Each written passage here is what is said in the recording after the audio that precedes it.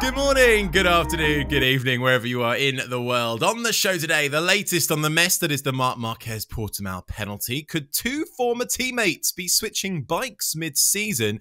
It's crunch time for Morbidelli, and of course, a look forward to this weekend's Spanish Grand Prix. Remember, if you want to send us a question, you can voice note us, do it on your phone. You can email it to podcast at crash.net along with your name and where you're from. Keep it to 30 seconds, and we'll get you on the show. Right, the recording date is Tuesday, the 25th of April. My name is Harry Benjamin. Joining me, as always, is Crash MotoGP editor Pete McLaren and former Grand Prix rider and British champion Keith Huewen. Now, we know this is going to be out of date very quickly, but what the hell is going on with Marquez at the moment? Is he going to serve this penalty? What's the deal?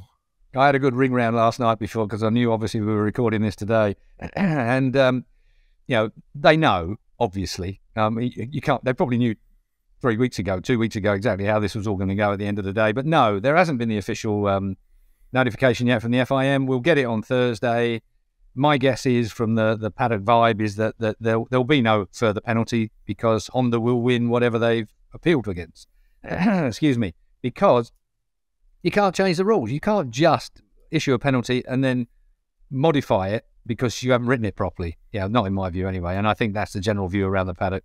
Um, quite interesting that uh, this this week in uh, in the papers, if you like, the the online papers and so on and so forth, Viegas, the uh, FIM president, has, has been getting a fair old whacking from various places. You know, uh, uh, my favourite, and I've got I've, I've, translated this from German because it was in uh, Speed Week, um, which is another online enterprise with my old mate Gunter Wiesinger.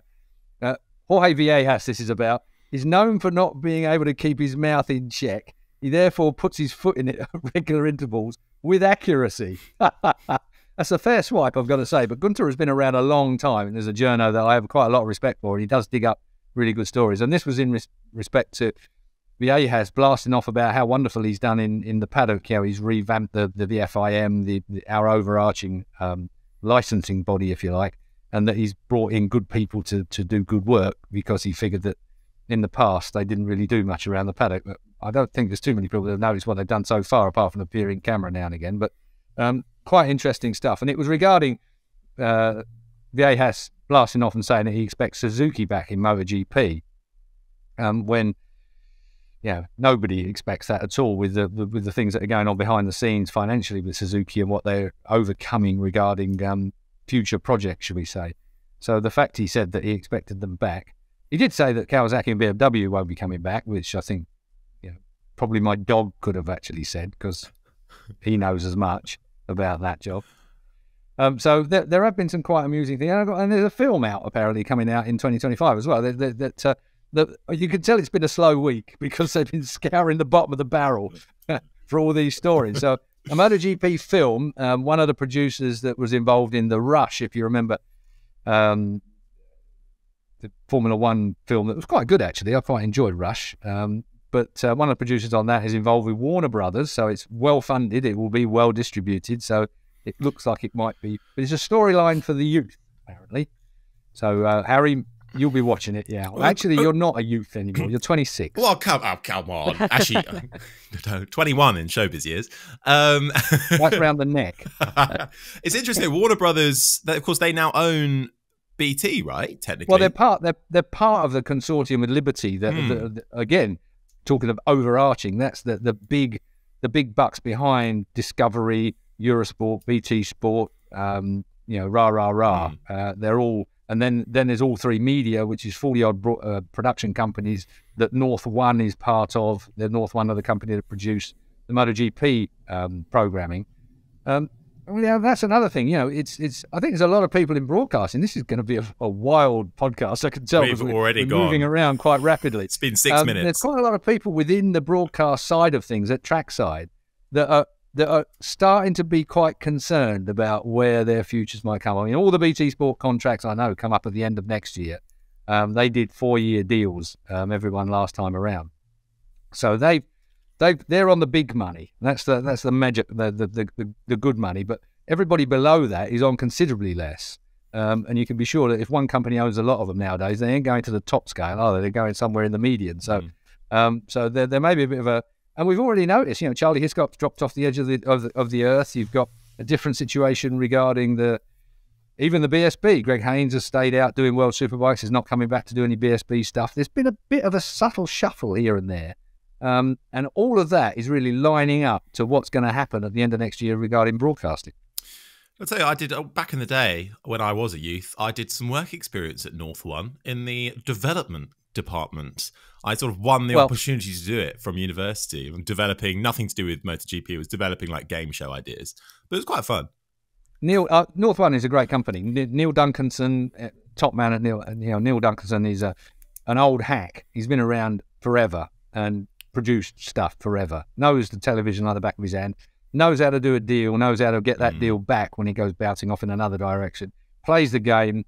Um, not to everybody's cup of tea, that's for sure. But he's like I say, he knows what he's at, and he is North One is just one of forty odd companies that are owned by All3Media, which are now owned by Discovery, which is part of Eurosport, part of Liberty, rah rah rah, part of Warner. Uh, uh I mean, they've all got a hand in it somewhere. Um, everyone, everyone knows everyone, it, and, of course, it'll all be TNT. You know, BT yeah, Sport, yeah. Discovery, Eurosport will all be TNT by the end of this year. It will be rebranded um, under one name. Now, how that works out for the fan at home, getting more to the point, um, how that bundles and how that works.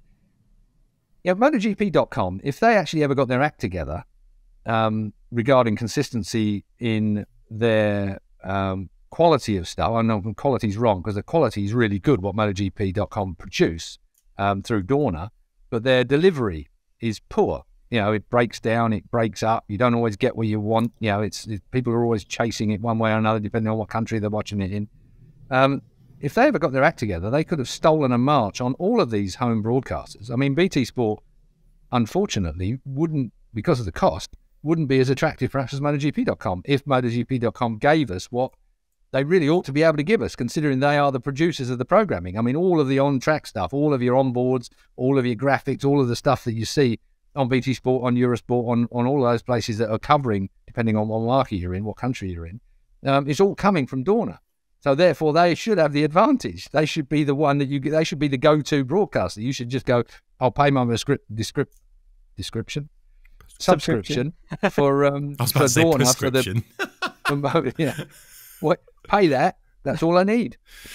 Yeah, but, but isn't that strange? Sorry, guys. I mean, this is someone who's not involved, but as you say, Keith, it's, it's almost like they're getting paid twice at the moment, isn't it? I think same with F1 because you get the money direct from the consumer if you're if you're doing it on MotoGP.com, and then you also sell the TV rights as well. So it's almost like a double double thing, isn't it? Well, if you lose one of those, I, I guess one income stream. I don't know. Maybe. Well, it's quite it's quite clever in as much as that, that what Dorna allow is uh, broadcasters, home broadcasters, to put their own personalities on it um, and to, to to dress it up how they want to dress it up and put their own little features in there and bolt them in around the world feed footage. It's pretty standard stuff. I mean, everybody does it. It's, it's done across everything, um, pretty much in sport. Um, I think what I don't quite understand is where Dorna have kind of missed a trick really with with the with the, some of the delivery of the, of their their coverage. Um, and they're also notorious for not paying um, great money to some of their youngsters. I mean, it's a very young team at Dorna now. They've got some really good up and coming young talent, but it doesn't match some of the top talent that are put on some of the home broadcasters, some of the uh, you know, national broadcasters. So maybe that's by design. Maybe that's how Dorna see it. Maybe you know, like you say, they're taking double bubble. They're taking it from from those that sign on for the the Dorna feed and for those broadcasters that are making money off of subscriptions elsewhere.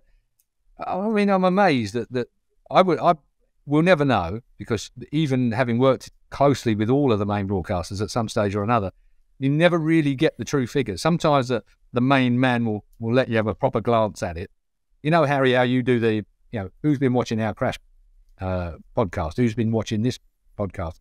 Some people keep it quite quiet. I did some stuff for BBC Sounds uh, last year, and we never really got to know how many listeners, viewers we had on any of that because somehow they keep it to themselves. I don't quite know how some are public out there and you can find the figures, others you can't. I suppose it's discretionary for the for the broadcaster whether they actually put it out or not. Mm, yeah. I think they should. I think it should be out there. You should be able to find out, you know, how many people are looking at it, uh, because then you can work out what value it has. You know, what value does it have from a from a fan point of view, and also what changes you can make to make it more valuable.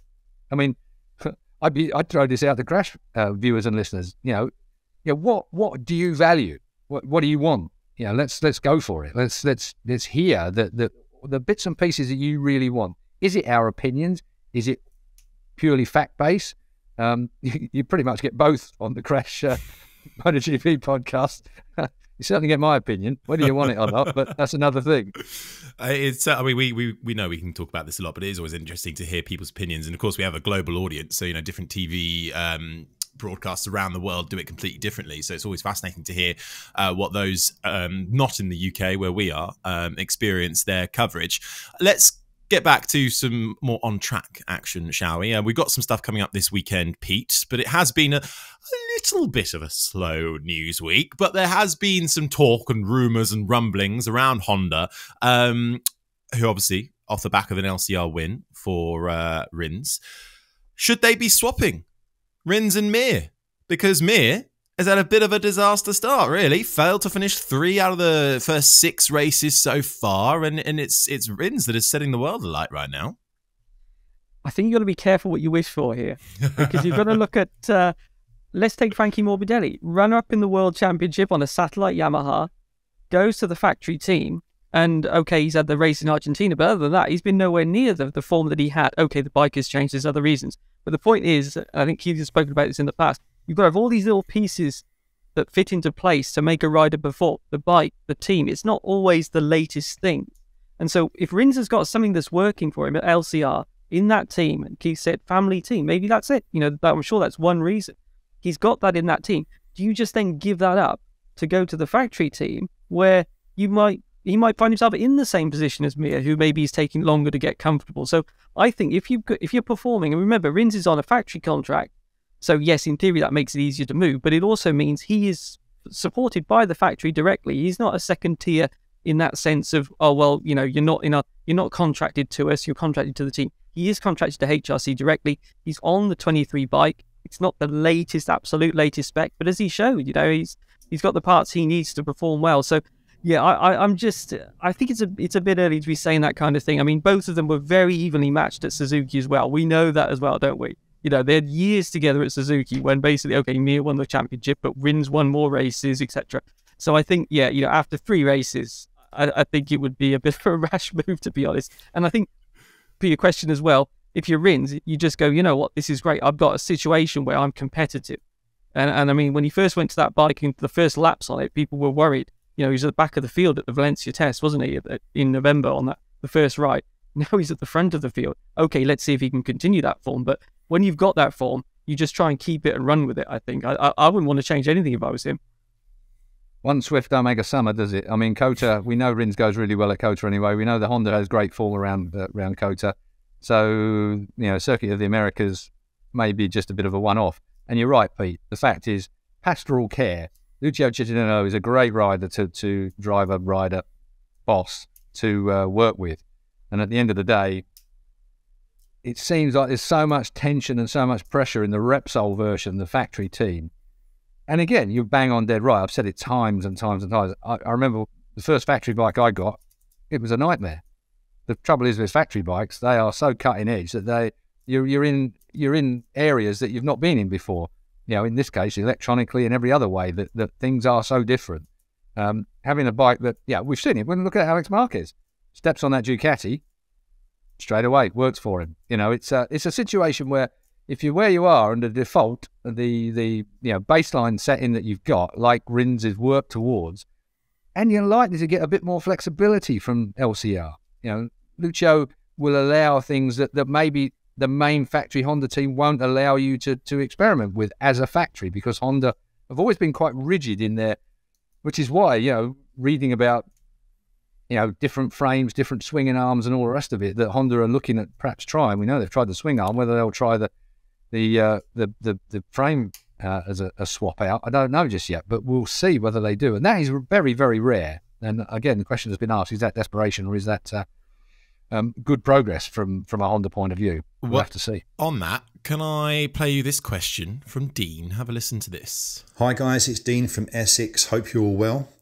On a first note, I think we should see much more of Keith Huewen's old racing days on videos because that was awesome. It's good to look back over these days, and it was awesome watching that. It really was. Uh, on a second note, what do you think about the rumours that Marc Marquez or HRC took the development chassis off of Alex Rins um, that he was testing, and he's going to be testing the old chassis or using the old chassis going forwards to Jerez or Jerez. Sorry.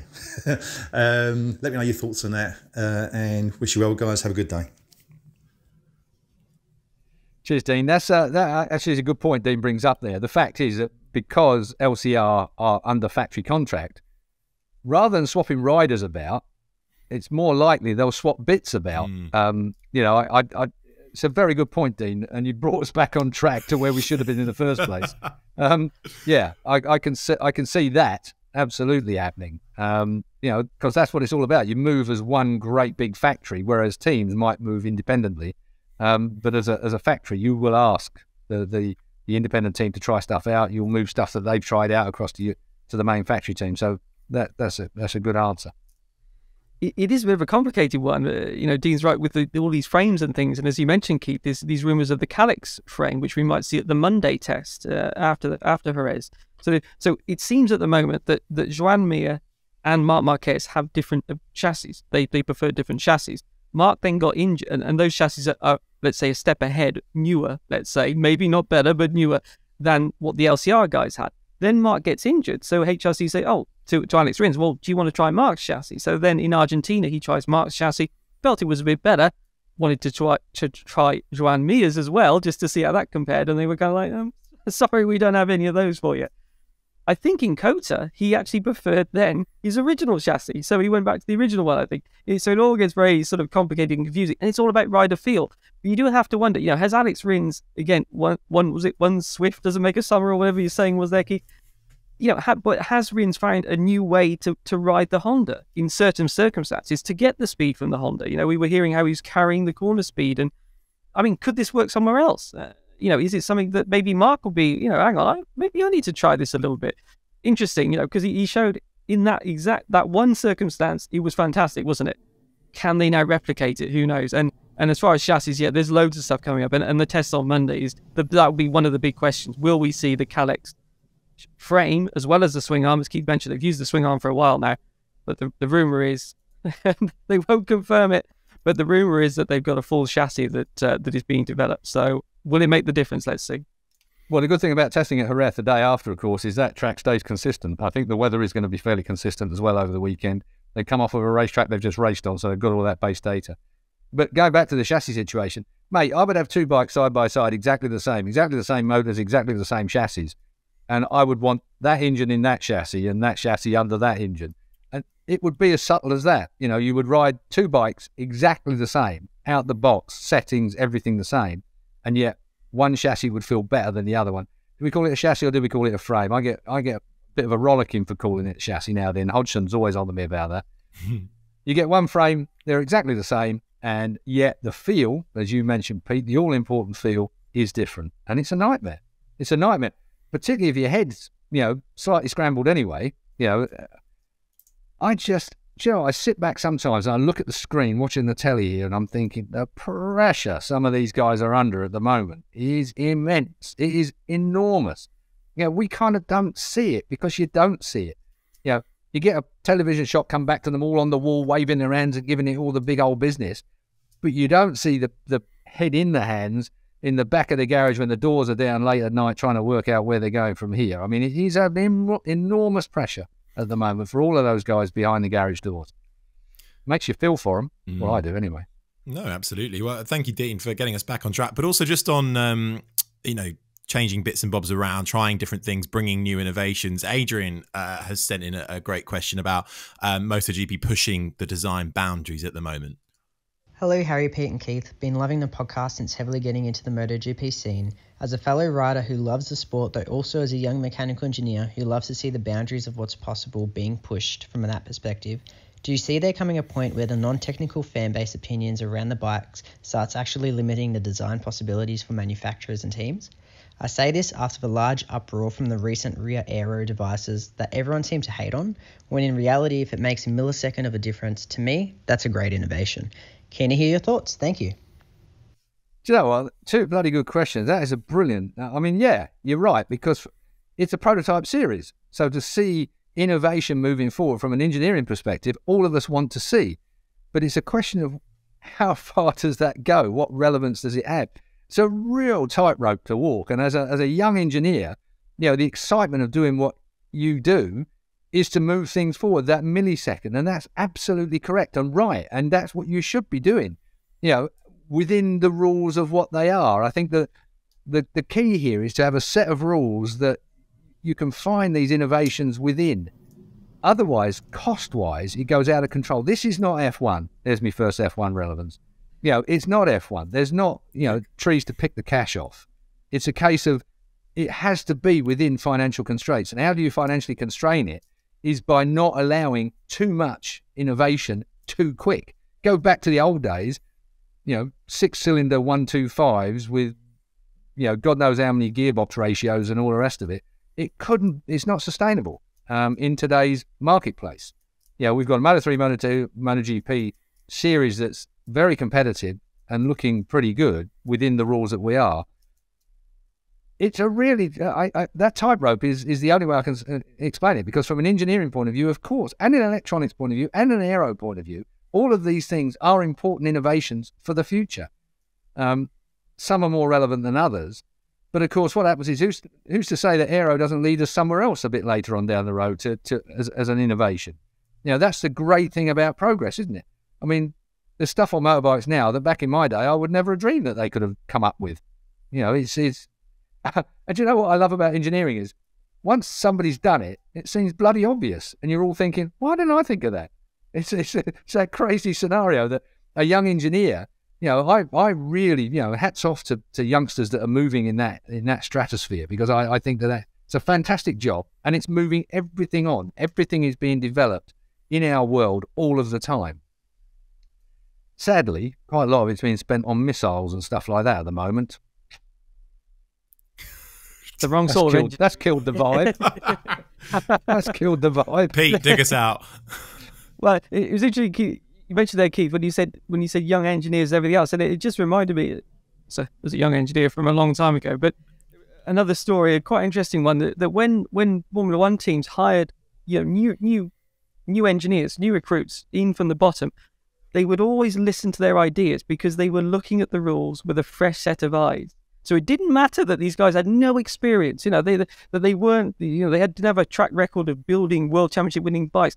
Those guys would quite often come up with, and as you say, Keith, it sounds obvious once you've, once you've heard about it, doesn't it? But they would quite often go, well, why don't we do something with that? Or the rules don't say something about this.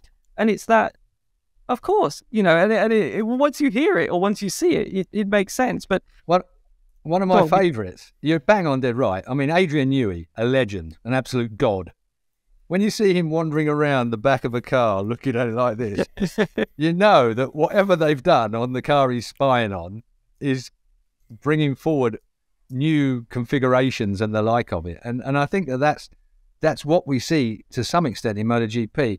Although I do feel at the moment that we're a bit we're a bit. I feel like we've kind of gone through a clumsy period lately. We're we're hearing about not being able to manage tire pressures properly and stuff like that. I feel like yeah, we've we've got some things that are absolutely cutting edge, and yet we've got some things that seem a bit clumsy. Um, you know, can't manage tire pressures. You know, within within the rules, everybody's up in arms about things like that, and it seems too simple to not be able to manage. And I'm not particularly clever, as you will have heard and will have noticed. Um, so I leave it to other much cleverer people than me. I think one of the worst things that you you would getting back to the Adrian Newey um, comparison is that when you don't see things on other people's bikes. I mean, Yamaha had the scoop, the spoon underneath by the back wheel that was there basically quite cleverly to deflect water away from as it came down to the front of the bike. It deflected it away from the rear tyre. And of course, Gigi and his crew spotted that and thought oh, that could be a tyre cooler or, which is what it wasn't allowed to be at the time, an aero device. They got away with it being a tyre cooler before it all went bonkers. But, but I mean, spotting what other people are doing um, is is really really important. Modifying it, and then as an engineer, coming up with a new idea within the rules sounds dead easy, but it really isn't. Mm. I think I think if I was going to sum it up, I'd say look, I don't like to see things banned, but I do appreciate that things need to be controlled. And I think that's that's how I would prefer the. I don't like it when they, oh, we don't want that technology. We just don't want that at all. We're going to ban it completely. I'd rather see a bit like with Aero that you limit things, so you keep things under control for the reasons as you, as you say, Keith, for cost as well. You can't. What we don't want is for people to buy a world championship. Is it that the one with the biggest checkbook has the fastest bike, which wins the world championship? We don't want that. So we already have that. well, I mean, look at Aprilia. Look what they're doing. I mean, you know, there, there seems to be, and, and Suzuki, they, they were seen as having one of the smallest budgets. So it, the point is, it can be done. Yep, money will always be a, be a factor, won't it? And it will always make a difference. But if the rules are written in the right way, you can limit it, I think. Let me ask and you this. That's the balance. Let me ask you both this then. I mean, the problem perhaps with the rules right now is, is the manufacturers all have to agree them. They make the rules. We've talked about this before.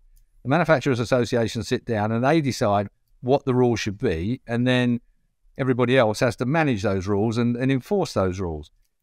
Should there not be an element with it? If we've got to agree unanimously, which I think they do have to agree unanimously with any rule change, um, should there not be a, a, an advocate of some kind of, you know, a, from IRTA or from from you know the the Danny Aldridge of this world that that that are able to blackball those ideas and stop something from running away into the distance. Or, better still, um, bringing a rule in that benefits the series rather than just the manufacturers. Tough, isn't it? Yeah, safety they can, can't they? Uh, that's the one thing where they can say, look, we've we've spotted a safety issue here. You have to fix this now. They can do it then. But if it's not safety, as you say, if it's something to, for more to do with the show, it's very difficult. The whole unanimous thing, I'm not sure how unanimous that sometimes is we don't get to see, you know, you just get told it's un- unanimous as in the final. Take the front ride height device. I mean, uh, the understanding is that it was the other the other manufacturers against Ducati, but it, but it's presented as unanimous because they realised that they're not going to win that vote. So then it goes through as unanimous. But in reality, they were not going to. You know, they they felt that was the wrong decision, and, and it wasn't fair on them. But it is the rule making thing, and this is this is this is good timing, this whole discussion, because of course we've got the next set of rules coming up, 2027, where any big changes will be made. And those those rules need to be decided pretty much now, this year. So all of this is going on now. How do you look into the future and, and bet on what the sport needs in, in four or five years' time and what the manufacturers need? You've got to do it. Someone's got to do it. And uh, not easy, well, though. I think that's that. I mean, from from an engineering point of view, I mean, we, we've got to go sustainable fuel. Um, we've we've got to be seen to be doing something. I mean, I'm I'm so happy that we're not going down the electric route at the moment, um, just because, I, as you might have guessed from some of the comments I made in the past, I'm not a great believer in battery life and uh, our, and battery our Moto material. E podcast is still one of the highest rated podcasts we've ever done. yeah, well, I mean that's that's fine. That's because there's so much interest in it, and I understand why environmentally, people want it to be right. I just don't believe that environmentally that the, the, the, the, big digging a hole somewhere in Africa to find the minerals to make a battery and then shipping it halfway around the world to, to install it in something else and then digging another hole to dump the old bits in because the battery's flat now and we can't use the minerals that are in it anymore. It just doesn't seem to work for me quite as well as a sustainable fuel situation. There, yeah, there there must be alternatives, and I'm really pleased that MotoGP are heading that way. I mean, I hate. I, I watched the Formula E. I like, I really enjoy Formula E. Honestly, I have to turn. I mean, I have to turn the sound off. I cannot stand whining like you know. I, I understand, yeah, racing. Okay, I, racing's racing, and it's, it's it's good enough from that point of view. Except it's on all these Mickey Mouse tracks that are made of concrete, and they bump about, and they all fall over each other like great big lumbering things. It's like touring cars. But, well, yeah, there is a touring cars, but that's that's a, a slightly more um, um, how do we put that? Let's uh, it's it's well, historic, it. perhaps. Let's not put it. Let's let's, let's stick with the bites. But the point being is that I'm pleased, and I and, and I think that it's the right thing to do, and and hopefully, going down the sustainable fuel um, direction, I hope that the, the rules that we come up with in this next round of configuration that we're going to have from 2024 onwards, and I hope they give themselves a headroom to change those rules as well as the year goes on, uh, subtly I think that that we are so constrained with changes that you can make, you know, from after testing and so on and so forth. We need to have more room for testing in 2024 so these rules can settle down properly so that the innovation can settle down slightly better. I mean, getting back to that youngster who came onto us a minute ago, the Aussie kid, I mean, at the end of the day, you know, to make that work, you just you need engineers to be able to have the slightly less in the way of constraint with the new rules to be able to develop those ideas during the first year of those ideas as as, as they are developing, in my view. Yeah, um, it's a great question from from Adrian. Thank you. I, am I'm, I'm all for uh, the show. Uh, you know, improving that, making it making it better, no matter what the the sport is or the motorsport. But I suppose the other thing is coming back to it. You know, pinnacle of motorsports, you should reward innovation and and progress, right? So, you know, if one team manufacturer brings something and innovates something that is better than the others and starts to, to run away with with it then you know in a way you kind of got to say well fair play it's now up to the others to try and catch up. But then there comes when does the limit come? Where you're like oh come on now you know how long does this dominance last? It's boring now. It's trying well, to find that fine line right? Yeah but that's why we had concessions. You know they can modify well, now no one's got concessions right Pardon me? Well, well, they pretty don't have concessions anymore, do they? No, they don't. Exactly right. But if somebody falls behind, the concessions can come back in. Okay. So it's a situation where I, I, think they should make sure that, that that is a distinct possibility, so that we don't have you know people that have fallen behind by innovation that hasn't perhaps quite worked, but with a little bit of, like I say, a little bit of headroom regarding mm. concessions, then maybe they can they can develop in a slightly different direction. Otherwise, we all end up with exactly the same same thing. But you know, the, the, the problem with problem with a rule book is that sometimes there is only one mathematical, engineering, and otherwise way of going about a job. So you all end up going down the same road. And, and that then becomes slightly negative, in my view, because you lose personality in, in the machinery. Um, and, and that's important, particularly in motorbike racing, I think. Mm. You know, it's, it's a. I can't tell you, when I watch a Formula One race or anything like that, you know, Formula E, I, I, I don't understand it. I don't get what the differences are with, with any of it. It seems that it is so constrained that they are all really basically the same. The only thing that seems to make any difference in any of that is the, the, the construction of aero. It's how it's how that package is put together to nip through the air in the way that it should do with that level of horsepower and that level of, of, of power.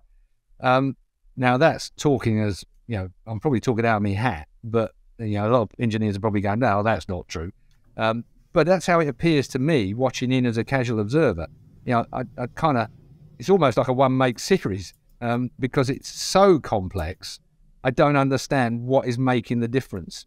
You know, why, why of, of, of Red Bull, you know, when they open their bloody DRS thing at the back of the car, why, why is that so much more efficient in a straight line than, than Mercedes, for instance? You know, clearly you can see that they have a definite advantage over it and it's there for all to see. But no one, no one cleverer than me can work it out. It's it just seems. Well, actually, Keith, it's design. all to do with the ground effect and the fact that Mercedes don't have any side pods. And Look, um, shoot me now. Yeah. Shoot me now. Go on, Pete. Here's a bike example there. So when you think of riders right now that are, that are amazing on the brakes, you think of Toprak, right? But he's not. He's using steel brakes, isn't he? Well, Superbike, and you've got carbon brakes in MotoGP, which are again prototype brakes, and yet but the perception from the show side, you know, is that it, it's actually more extreme watching Toprak on a superbike than it is watching. Uh, well, you know. there's there's no way that Toprak will have anything like the advantage in the braking area that he appears to have. Um, if he no, came no, to no, no. I, am talking about how the show differs from the technology side. Let's say. Do you see what I mean? That, that's what I mean. Where, where for the fans watching, they might say, "Oh, look at Toprak on the brakes. Look at that. That's amazing." And and yet the MotoGP guys are braking much later, much harder, and yet visually from the show side, it's but oh no, Toprak's better on the break. Yeah, I, am I'm, I'm just giving well, that, that, that balance of how the, the show mm, versus mm, the technology. Well, you go you go back to Harry's throwaway a bit earlier on. You know, British touring cars is is, is it more entertaining than Formula One? Huh, some would argue yes. If you go back the, the years of banging and barging and moving around, but for me, banging and barging isn't racing. Um, so it's a, a, slightly slightly different way of um, looking at it, I suppose. Look, this is an argument. Yeah. At the end of the day, the fans are the ones that dictate, you know, what goes on. In as much as, you know, if they switch off because it's boring, then we all lose. At the, so end, that, of, at the end of the day, I think people would rather see um, uh, mixed up podiums and grids rather than uh, uh, it, it, rather than sort of processional racing. Even if that processional yeah. racing, you could identify the different bikes or the different aero dynamics between them. I think people, if given the choice, and please let me know if I'm wrong, I don't want to speak on behalf of it, in my opinion, I would always rather watch close racing than um, looking at the different bits of design and aero that's been brought in. I know one might have an impact on the other, but let's look at MotoGP because we all thought crap Ducati procession. They're going to dominate. Have we been able to predict any of the podiums right this year? well, maybe me, but with that exception, you, you, can't. You know, we all thought you, KTM would be a disaster. Rules, Harry. So, say that again. You should make the rules. I should make the rules. Me and Danny Aldridge. Uh, Amateur luck. I would put it down. Amateur luck. Right, go on. I want to let's move. Let's let us know what you think about this in the comments. Fascinating debate that I think might have to be a, a degree to disagree or, or disagree to the end of the time. You bring up Toprak. Pete, and we've had some excellent questions come in so far, and we're going to continue with another one. Um, Nick from Australia, a lot of Australians in today. Um, very welcome. Got nothing else to do. Nothing. Very welcome. Uh, Nick from Australia. Uh, my question is uh, about we're Toprak. So with Toprak's chances of entering MotoGP with Yamaha maybe being hurt because not being able to get up to speed during his test, Yamaha might look to someone who knows how to ride a MotoGP bike fast already. If Remy Gardner has some decent performances in World Superbikes, uh, would Yamaha maybe look at him? He didn't get to show his full potential at KTM, but I was still able to be fast on a MotoGP bike. And I suppose this then encompasses the wider topic that's come in uh, about Toprak probably out Yamaha be uh, Yamaha given uh, Morbidelli a deadline on on their decision first half of the year. Who wants to take it's that? It's another good question in there. Mm. I can mm. see the Remy Gardner, the guns loaded for for Remy, but I, I, think let's stick with Yamaha for the moment and the Toprak deal. I I was always a bit cynical over what was going on with Toprak and Yamaha in MotoGP anyway, because I know Kenan Sofuoglu isn't a fan. You know, I don't think he's that keen to move Toprak across, and he knows more than we do regarding the personality of Toprak Razgatlioglu. You know, Toprak didn't perform perhaps quite as sharp as I might have expected him to do in the in the test. I mean, some raved about him, but but I, I don't think it was a, a great test for him. I think it was significant, as we've already said, that Lin Jarvis was there, but that was mainly from a management point of view. You can imagine him banging heads with Kenan Sofuoglu. I can't think of two different personalities that would uh, be in the same cage. Um, so that was quite an interesting development there as well. But I think what's come out after that, and particularly around the Assen World Superbikes that we've just had this last weekend, you know, it seems like that door has slammed shut to some extent. It seems like um, Kenan and Toprak have pretty much decided that uh, World Superbike seems to be the way to, to go for them moving forward. He can have many years in, in there and he can enjoy himself. I think the, the point was was that MotoGP, he wouldn't last quite so long in MotoGP, wouldn't enjoy it quite as much. And I think that that is absolutely true. It's that it's not just a pinnacle of, of, of perfect motorbikes, but it's also a, a, cauldron of intensity that that won't suit many riders. Now, will that suit Remy on his way back? Would Remy want to come back? You know, maybe he'll look to have a long career in World Superbikes, which he'll enjoy from a social point of view as well as a, a, a financial point of view. Um, and maybe he'll want to stay there. I mean, Alvaro, Alvaro Bautista at the moment, you know, everyone's slamming him because his Ducati's quick. Yeah, it is, but he's the one that's making it perform. You know, he is absolutely riding the thing. You know, he was a good MotoGP rider. He's coming to World Superbike. Alvaro can go round and round in circles in World Superbike for as long as he likes at the moment with these kind of performances. Um, I, I, I think that there's going to be a high turnover in MotoGP. We've got so much talent coming through that Monreal series from rookies from the you know Spanish Championship, the C, uh, CEV and the like, the Junior World Championships. You ain't going to be in MotoGP for long if you don't perform. There isn't going to be that option anymore. I think the Morbidelli is they've given him full respect. I mean, you mentioned him a moment ago. They've given him full respect. He hurt himself. They've given him the opportunity to come back. If he doesn't perform this year, I think I mean, Lin Jarvis isn't known for putting a statement out there that's too cutting edge, that's for sure. He usually, you know, keeps his head fairly well below the turret. But I think what you said here is is that basically perform or you're out. If my reading of it is um, not too harsh.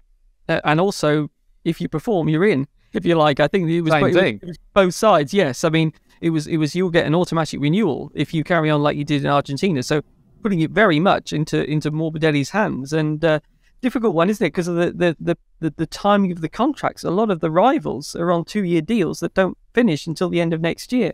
Morbidelli's out of sync because of the whole Maverick Vinales leaving midway through the year, and then Yamaha having to sort of grab Morbidelli, move him up, and fill the gap, and everything else. So that's what's put them in this situation where they're they're out of sync with all the other top riders. So they're going to have a, a smaller pool of, of choice anyway, aren't they?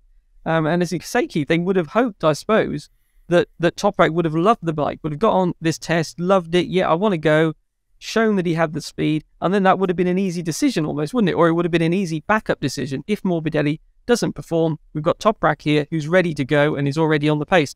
But it hasn't worked out that way. As you say, Keith, I agree with what you said about the test. It didn't seem to go the way that, that either side wanted as far as being ready for MotoGP. And uh, with no further tests, it sounds like planned. You, have got to assume, well, that's that really, and that and that he's at the top Toprak's attention and, and Kenan's as well. His his focus elsewhere that being World Superbike, as you say, that that seems to be my my feeling as well.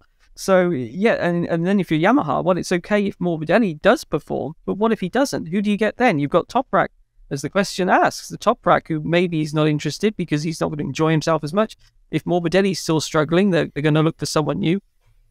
Who then? You know, Jorge Martin, we've heard before. We've heard rumors about Alonso Lopez in Moto 2, but you know, again, it's a big gamble to put in a factory team, isn't it? Someone like that. That's the trouble here is that Yamaha, you're talking about a factory team seat, and and traditionally teams don't like to gamble, do they, on that on those guys in the factory team? They like to get someone who's going to get in there and be proven that can deliver straight away. And there's not many options for that. And for Remy, uh, just finally on him, I remember asking him last year, you know, what, what's your plan? Is your plan to sort of come back to MotoGP in the future? And to be honest, he said what he said, which was pretty much, I just want to enjoy myself. That's the first thing. I'm not thinking about a long term, you know, what will I do in five years' time? I want to go to World Superbike and enjoy myself again because he really didn't enjoy himself in MotoGP last year. And that's got to play on his mind. If he's, if he, even if he's offered the ride, he'd want to be sure, I think, that he would enjoy himself on that bike. And so you're looking again, he'd want to do a test, wouldn't he? He'd want to do a test like Toprak did. Can I be fast on this bike? What do I feel like on it? And all those kind of things. So I think if it was going to happen, there'd be a lot of run up to it. We, we'd get a lot of warning because we'd see Remy test the bike and all those kind of things. I don't think it'll just be a sudden Remy Gardner's going to jump into the MRT like that. We've got a problem that's going to build this year anyway. The attrition rate in 42 races during the course of the year, plus all the other bits and pieces that go with it, are, we're definitely going to get into a situation where you know rider we're riders down um, during the course of the year. There will be more injury. There will be more you know, absentees. You know, this weekend we're waiting for Bastianini. Is he going to come back? Okay, he's had 10 laps in Misano on a road bike over the other on the Monday. Um, is he going to be fit? I'll tell you what, Jerez is a tough little track and it's going to be warm down there. They've had in Spain, they've had something like 40 degrees in some parts of Spain. It's scheduled to be 30 degrees or above air temperature, so that will bring the tyre temperatures right up. The track will be scorching. It's not an easy racetrack, lovely racetrack, brilliant racetrack, but again, not easy. So, you know, attrition wise, comes back to what I said before, we're going to need subs during the course of the year in MotoGP, I've got a feeling that they're, they're going to have to build a, you know, substitute basis somewhere for some of these factory guys because we're going to be missing top riders. Only 22 bikes on the grid, unless we've got a wild card out there occasionally. That ain't enough. When you watch some of the races, you know, you, you, I don't know whether you've watched much what's been going on. Well, Supersport 300 or whatever it is at, at um, in World Superbike uh, category, the the uh, secondary classes that they've got there. Sorry for calling them secondary. I couldn't think of a better word. Support. But they're like mad. You know, we've got a grid full of bikes. It's like the it was like the olden days. You just look down the field and they go forever from the start line. You know, 22 quality bikes on the grid for MotoGP. You know, it doesn't want to get any less than that. I think that missing bikes missing on the grid when we get down to 20 or below, you know, really the sport then is beginning to look a bit a bit bare, a bit barren. Um, so we need more factory bikes on the grid, and there ain't enough factory riders at the moment to cover what we've got if they're injured. So it's going to be very interesting to see where that goes. I mean, Jonas Folger, you know, he rode a motorbike very well, but he was like way off the pace last time out at COTA. Um, and that's what it's going to be like. You know, you cannot get someone to ride, you know, they're all factory bikes on a MotoGP grid anyway, of varying denominator, varying type from whatever year it might be that they, they were manufactured. But they're all very, very trick motorbikes and they're all very, very close in performance, potentially. Um, so to bring someone into that cauldron of red hot pace is going to be really difficult at the moment. They're going to train and they're going to need to have the Topraks of this world backed up, ready to have a go. And then it comes down to testing. You know, they've got to be able to test. You know, so your costs go up all the time. Yeah, we're in a difficult period at the moment. I mean, I, I like the sprint race, but it's added a level of pressure financially and uh, physically from a from a technician point of view, from a logistical point of view, from a, a manufacturing point of view. I wonder whether anybody really considered seriously enough. Yeah, you think they went full beans with it, and they didn't do what the F1 guys did and introduce them gradually. They went right every single race, and that's a lot of pressure. And and this second half of the season, from the people that I've spoken to, even right up to team bosses have said, wait for the second half of the season. This first half, it, the calendar's actually not too bad, is it? There's some decent breaks. There's one after Le Mans, I think, of a couple of weekends. But the second half of the season is relentless. So you, when you combine that schedule with this intensity, yeah, that's that's uh, it's going to be a tough one. Well, even in broadcast terms, you know, like there's there's quite a lot. Of, it's funny enough. I, I again, I, I'm sorry for viewers from around the world, listeners from around the world, I talk about the British perspective but a little bit too much sometimes. Don't slam me for it, but it's obviously one that I've got a bit of a handle on. Um, you know, again, this weekend, I mean, BT dropped the ball in the first round, trying to mess around with Red Button and trying to hide the Moto 3 and Moto 2 behind there, picking up world feed commentary and da da da da da. If you're paying a subscription to BT, you would want the people you're paying the subscription for. You would want to hear or see what, what you're paying the extra for. Um, and they didn't get it in the first round, and the balloon went up over here in, in the UK. Um, they modified that over the couple of rounds that followed, and it's being modified again this weekend. I have been told that Susie Perry and Sylvain Guintoli are doing free practice commentary on Friday. No, there's one for you. Wow. now, I, I, I, this is a rumor at the moment, but it's it's one that I, you know, I, I think is um, fairly solid. So we'll wait and see. Um, Gavin Emmett is worn out being stuck in the green cabin in the middle of the car park in the middle of nowhere. It didn't do his ego any good because he couldn't get out and go and hobnob with people and and uh, go and do the odd feature here and there. So he's being moved out of the commentary box a bit more to come and do one or two other things. So I think BT, the schedule, especially on the Saturday, is absolutely relentlessly intense for a broadcast team. It's really hard to do their budgets, they haven't been given more money to achieve the same thing. And so, therefore, it's become more difficult for them. You know, teams like BT have become, should we say, presenter heavy rather than, as they were before, commentator heavy. You know, there used to be, they, they'd be able to swap commentators about in the past if they needed to. Um, whereas now we've got a lot of presenters and not so many, you know, top line commentators. So to move Gavin out of uh, out of a commentary box to do a feature or two because you know he's he, they want to save his voice. I think will be the excuse for it. But at the end of the day, you know, I always predicted that he'd be cheesed off sitting in that commentary box a million miles from anywhere and not being able to do anything else because it's hard work being a commentator through the entire weekend, particularly now on a Saturday. So, and we're seeing this through broadcast teams around the world. Broadcast teams are changing from around the world. It, it will be a budgetary thing as much as anything as well. We'll get into 2024. Believe me, 2024 you will have 50% of the teams that are traveling at the moment to the track to bring you your television or your commentary or your journalism. 50% of them won't be there 50% of the time because it is going to change. The budgets, and there's the environmental thing. You know, when you've got a team of 26 people, as was with BT, traveling around the world in, in jets, um, everybody now as a corporation has a responsibility to the environment. Um, I've talked about it before. You'll see the Albert the Albert Sustainable broadcast in the corner. I'm working for um, BBC Northern Ireland uh, in May for the Northwest 200, and they are trying to achieve the Albert Sustainability badge, if you like, because it's BBC, because everybody's got to try and do. It's not just about you know the diversity of staff and, and so on and so forth. It's about the environment as well. So they have got to try and bring this down. So the way we travel, how many hire cars we have, how many plastic bottles of drink there are on site, all the rest of it is now audited. So these audits are done in a way that proves that you are sustaining to the best of your ability that production. Now, across the board, that's a good idea.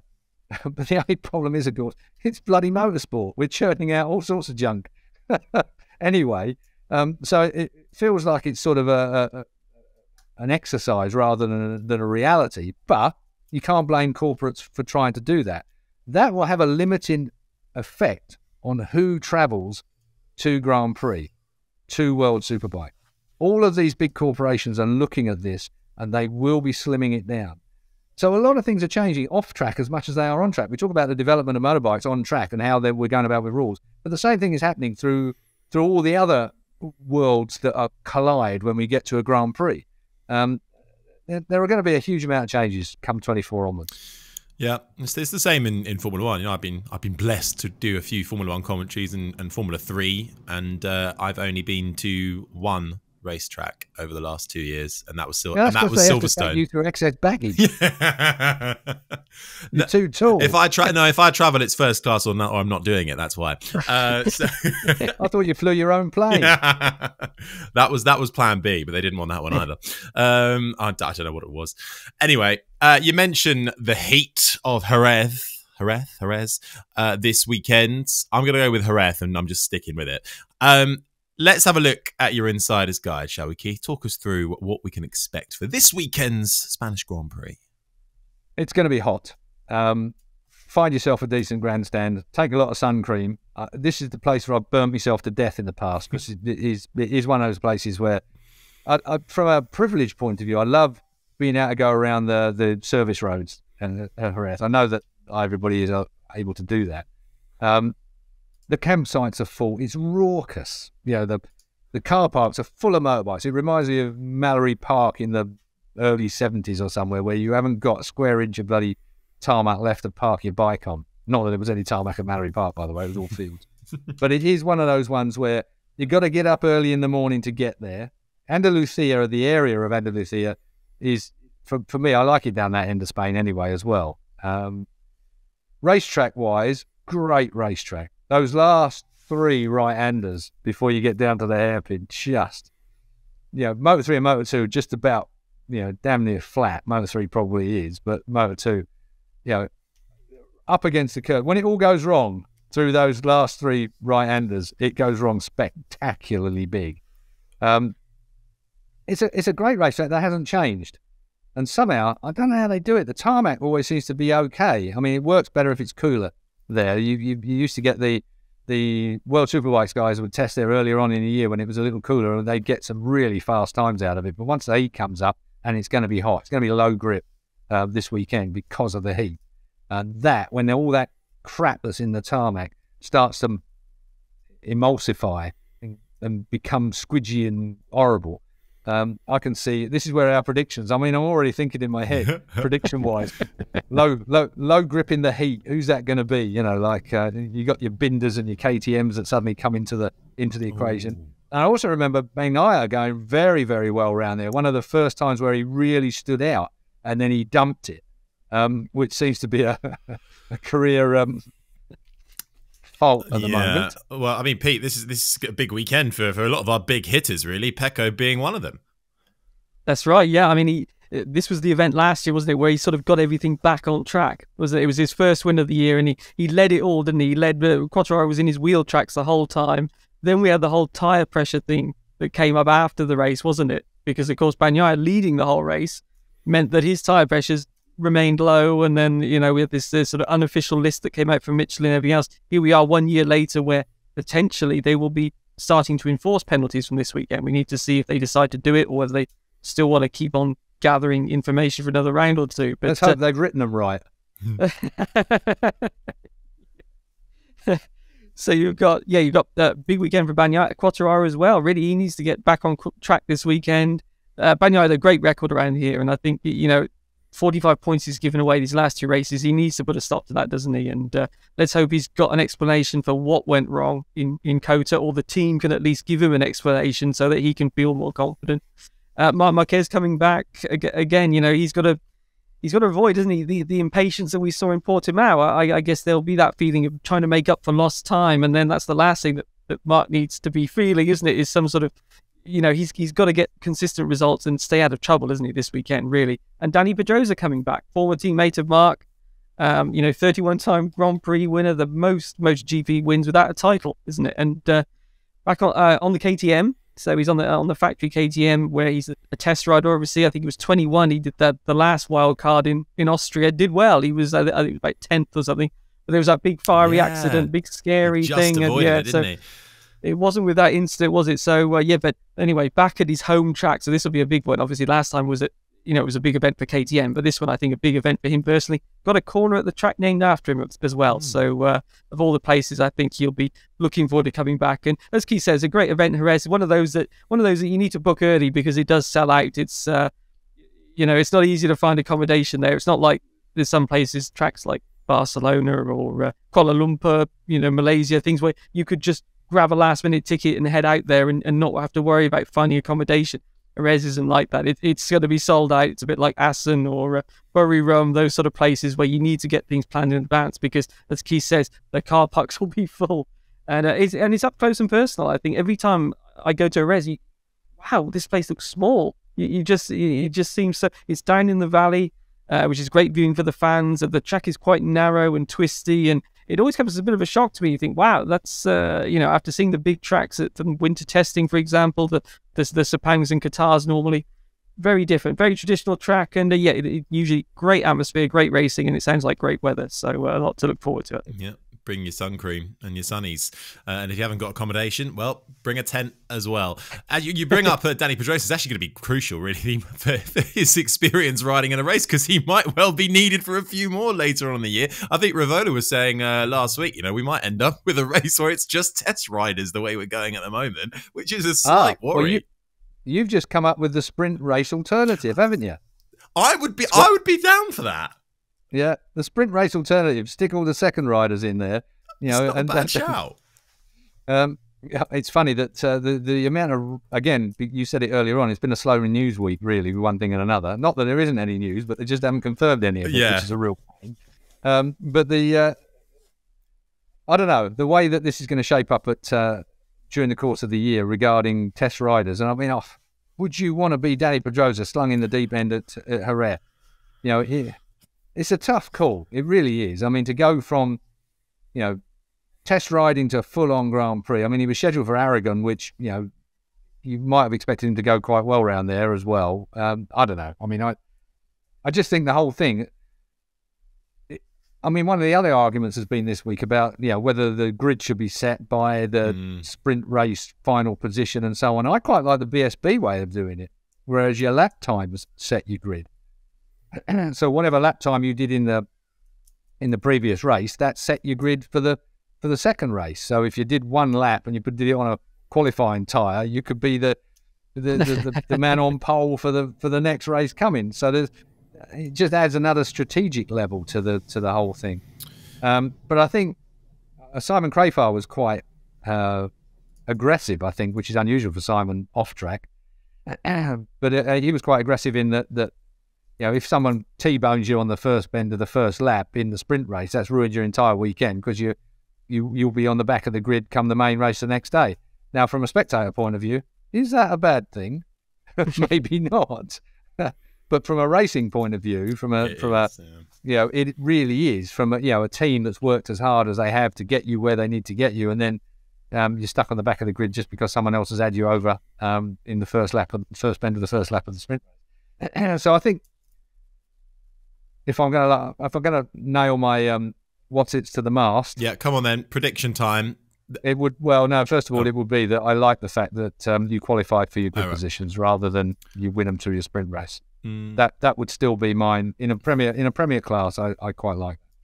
Uh, I, I agree with that. The only thing I would say is that it does make qualifying so important now, doesn't it? Because it's yeah. for two races. I mean, I think ideally, and I don't know how you do this, you would have a separate qualifying somehow for each race. But but that's just creating more issues, isn't it? But but I think that is a problem. One bad qualifying session, and you're going to have to pay for it for two races, isn't it? I, I don't know, but it, there's no easy solution as we've seen. But I think you know this is this is the first year, isn't it? I wouldn't be surprised if there are some tweaks, let's say, made. Oh God, for next year to the format. Surely, surely they'll have to. Um, but either way, I think double the racing, more fun for us to watch prediction time. We're out of time, but it's prediction time. So make them quick, please. Um, no dilly dallying. Sprint race predictions. I'll go first. Save you a bit of time. We've already done mine. I've gone for for the sprint. I'm going for Pecco Redemption. Pecco uh, Bagnaia. Vinales second. And I'm going uh, for an Aprilia 2-3 with Aleix Espargaro on my sprint race podium. Peter, who have you got? Uh, I will go Bagnaia also for redemption. I think he's usually pretty awesome around Jerez. I think if he doesn't win this weekend, he's in trouble. Uh, Quartararo also, it's, it's usually a good track for him, so I'll go for him second, and I will go a pretty. I'll go. I'll go Aleix third. I think uh, Spanish rider at that track. He went well last year. Keith's angry, so Keith. I wouldn't Yeah, worry, Keith. well, I was going to put the prediction in there for sure. Is this is this just sprint race? This is doing just here? sprint for the minute. Well, definitely Aleix. So I'm going to have Aleix. I'll tell you what. Then I'll have him round the other way. I'm going to have Aleix for a win. Okay. It's all going to be down to qualifying. If you don't qualify well, then he's screwed. But anyway, at least Aleix, is a is a fighter. So let's have Aleix on the on the Aprilia. Quattro, uh, Bagnaia Quartararo. Okay. Thank you very much, gentlemen. All right. Uh, Grand Prix now. Um, I'm going Pecco, Marquez, but which Yeah. one? And Which? Viñales. I'm going to keep it ambiguous. and, and is on the podium. Pete?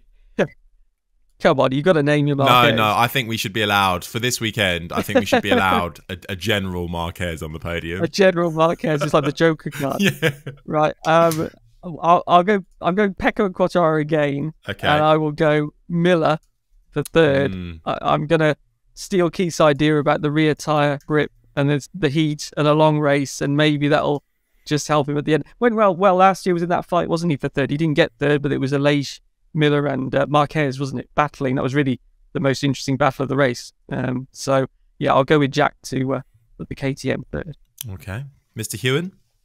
Pecco Rins Binder. Ooh. Okay. Have some of that. Rins, yeah, yeah. Yeah. I mean, there's so many. You could there's there's twelve riders, isn't there? Probably at least that you could pick for a podium this weekend. I mean, I I look can't at be the- bloody following you. Like you have me going third every time. Sorry. Yeah, I no, we I mean- don't. No, I never. No, no, I never no, go this time, first. this time. This time. Oh, this time. Oh, yeah. Sorry. Um, well, just just to remind, friendly reminder that I am currently two points ahead uh, in the stand. Oh no, That's I'm not. Oh friendly, no, I'm two points ahead of. You're somewhere else. two points ahead of Pete. Pete's last. He's dwindling behind.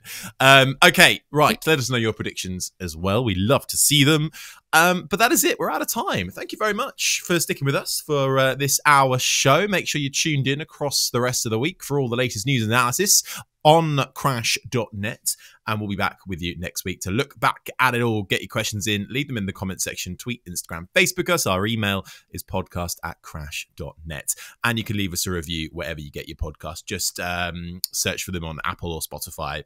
They're the ones to leave a review on. Thank you very much if you do so. Uh, but from me, Harry Benjamin, from Keith Huewen, and from Pete McLaren, we'll see you next week. Bye bye.